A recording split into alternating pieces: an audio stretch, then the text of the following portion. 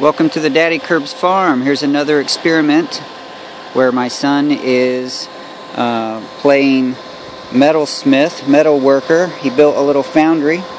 The foundry consists of this brick chimney with a pole, a pipe going to a hair dryer, and inside is a crucible made from one of those little green propane tanks with some bolts through it.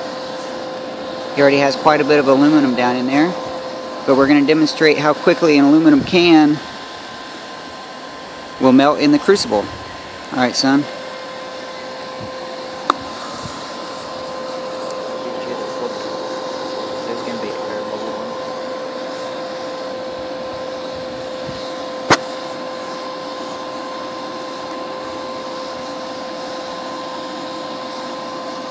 There it goes in a flash melted right down into that other aluminum.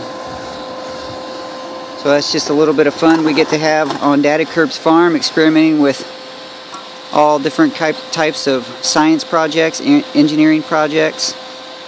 The beauty of having a farm and homeschooling your kids. Good job, bud.